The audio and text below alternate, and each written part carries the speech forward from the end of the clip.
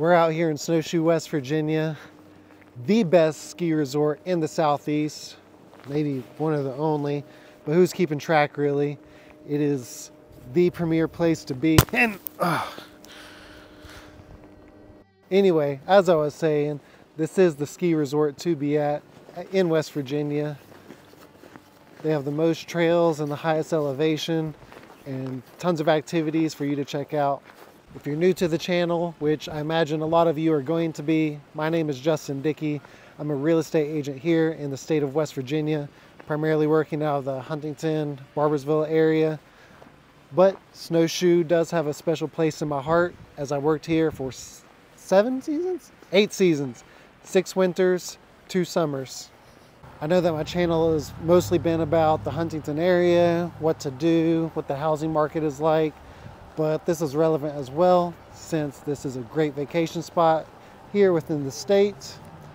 Uh, come out here with the family. This could be a new tradition. This is what happens when you start shooting video without a plan. You just ramble on without any structure. Allow me to take it from the top.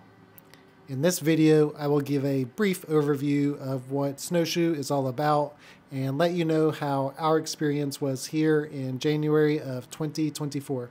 After that, I will just conclude with some final thoughts about the resort. I know this is different from the usual content I post on the channel, but it is relevant since it's about your potential West Virginia lifestyle. Real quick, I have to promote my own services. So, if you're buying or selling real estate in or around Huntington, West Virginia, get a hold of me as I would love the opportunity to earn your business. Or maybe you are considering buying a vacation home at Snowshoe Mountain, which is also a great choice. In that case, let me know because I can set you up with a great agent that knows the mountain like the back of their hand. There are some really amazing properties on the mountain, like this one I shot a video of in May. It's an 8,000 square foot luxury cabin with two kitchens, a guest house, hot tub, a sauna, a game room, a wine bar, and ski out access that can sleep a multitude of families. If you want to see the epicness of the property, click the link up here or in the description. I know it's extravagant, but there are many other options available too. Let's talk briefly about Snowshoe Mountain Resort. If you want to know any more about the mountain, head over to their website. I will leave it linked down below. Then, if you want to know any tips, tricks, or advice, leave a comment on the video and I will gladly help you. First of all, where is Snowshoe? It's close to the eastern side of the state in the Monongahela National Forest. I'm probably pronouncing that incorrectly. That's nearly four hours from the real estate market that I serve. Be warned, however, that cell phone service will be limited at times, and if you're not accustomed to snowy driving, Please use utmost caution if the roads are not perfectly plowed during your travels. Snow, slush, and ice will be slippery as you're navigating the curvy roads in the hills. Of course, the main appeal of Snowshoe is being able to utilize the lift system to ski downhill to your heart's content. So what can you expect in that department? The mountain's peak elevation is advertised as 4,848 feet, but you can just say 4848. You will see the number used in a variety of ways throughout your visit. Of that elevation, you will get 257 acres of skiable terrain, 1,500 feet of vertical drop, and 60 trails to choose from. This vertical is measured on their western territory of the mountain, which has their two black diamond rated ski slopes, and you can expect close to 800 feet of vertical drop on their main skiing area. There are more skiing opportunities midway up the mountain at Silver Creek, this is where night skiing takes place and often does not stay open as long throughout the season. In addition to skiing and snowboarding, there are other activities you can partake in on the mountain. In the winter, you can go tubing at Silver Creek, drive a snowmobile up and down the slopes, take a Polaris vehicle tour, and this year there was a skating rink available to rent. In the summer, you have a variety of other activities to check out. The slopes turn into a downhill mountain bike park where you experience the thrill of whizzing by trees, rocks, and roots while catching airtime on man made jumps. The resort also hosts several events throughout the season, including World Championship bike races, GNCC, which is a dirt bike and ATV race, music festivals, food festivals, and a massive raffle where you can win big prizes such as new trucks or wads of cash. There's also a chance to relax with disc golf and traditional golf. I could say a million things about what the resort offers, but most of it is on their website, so go check that out. What isn't on their website is my experience in January of 2024. Kristen and I arrived midweek, which is the best time to ski, by the way, so you don't have to deal with massive crowds. And they had just got a few inches of snow the days leading up to our arrival. The first night was all about settling in to wake up and ski the next morning. On our arrival night, we went to the junction for dinner and got there just in time to avoid the dinner rush. I ordered the plain Jane burger, I think that's what it was called, with cheddar cheese and bacon with a side of fries. The presentation was good, burger a little well for my liking, and fries could have used one more minute in the fryer for a better crisp on them. Overall, I was pleased.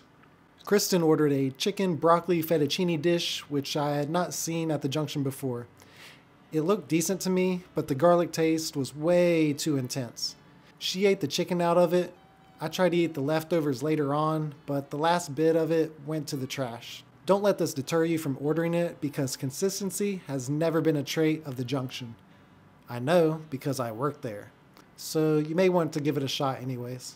If this is your first ski resort experience, let me go ahead and tell you, this is not the place to be tight on money. My burger was $20, the pasta dish was 22, and my 16 ounce IPA was $11. And who knows how much Kristen's White Russian was. Be prepared for this throughout your stay. The next day, we ate Cheat Mountain Pizza and I got another beer. We ordered the 16 inch carnivore pizza and it was quite delightful. It had all of the many meats that I enjoy, but the Jamaican jerk pork added a bit of sweetness that really set it off. Definitely would recommend. Ski conditions on the slopes that were open were very good. It was groomed hardpack with a layer of snow on top. Then you could find more powder to float in if you went towards the sides. The next day was even better since it snowed overnight. Although the second day was 20 degrees and the winds were pretty strong.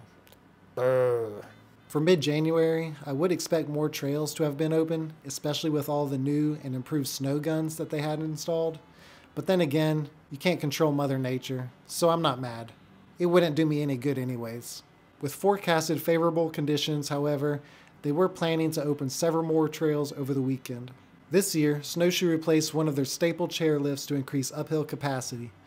This new one fit four people per chair instead of three, even though it's tight. This is the lift that you would be taking if you're doing tricks and flips in the progression park. The gates with the LEDs are cool at least.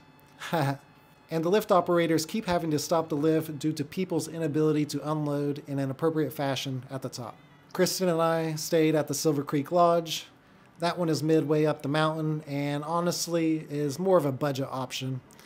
The great thing about it is that it is right next to the night skiing and it features a bar, a pool, and a hot tub within its walls. To get to the Snowshoe Basin, which is the main skiing area, there is a shuttle bus that makes its rounds every 15 to 20 minutes to get you to your destination. This is the way to do it so you don't have to worry about parking and driving on the mountain. All in all, I do recommend Snowshoe Mountain Resort for thrills and great memories, whether you are playing here or working here. I'll go ahead and throw in my two cents about that aspect of mountain life.